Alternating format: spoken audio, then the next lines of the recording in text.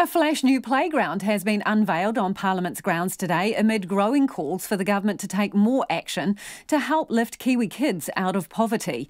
The Prime Minister and the Speaker cut the ribbon on the half a million dollar playground this morning.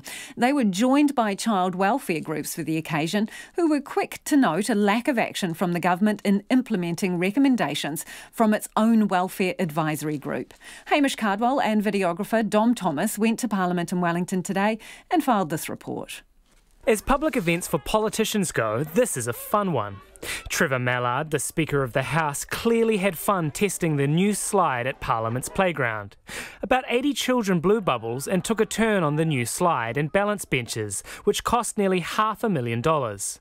The Prime Minister Jacinda Ardern says its opening marks the 30th anniversary of the UN Convention of the Rights of the Child. And that agreement did some really important things. It said that children have the right to grow up in a place, and a home that is, uh, looks after their well-being, where they're loved and they're nurtured. It said that we should make sure children have everything that they need to thrive. And it said that we should make sure that we hear the voices of children and young people. She says wanting to help children inspired her to get into politics in the first place. There's a reason I made myself the Minister for Child Poverty Reduction. It's because that's why I'm here. I got into politics because uh, the rights, the well-being of our children, for me, what other purpose is there for a politician than making sure that we look after the next generation. Ms Ardern says New Zealand's the only country she knows of with a playground at Parliament, and having it there sends a message about the government's focus on children's well-being. But the fun tone of today's event was somewhat dampened by criticisms levelled at the government over its inaction in dealing with child poverty. Professor Innes Asher, a member of the government's own welfare advisory group, this week said those in power had failed to take any immediate action to fix child poverty.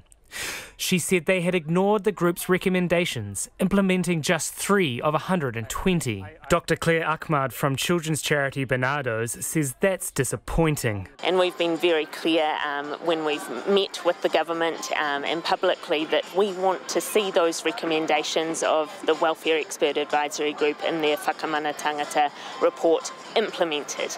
We especially want to see a lift to that main benefit rate. We know that benefits haven't kept pace with the um, costs of living. Jacqui Southey from Save the Children says while the government is making progress, it's acting far too slowly.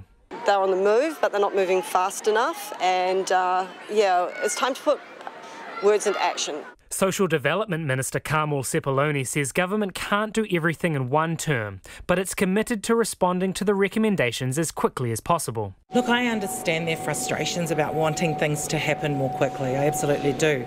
The reality is we haven't ignored them at all. Uh, action is already underway. We saw some of that at the budget.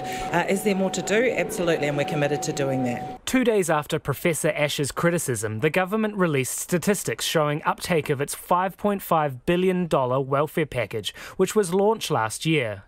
It says it's on track to meet its targets of lifting between 50,000 and 74,000 children out of poverty by 2021.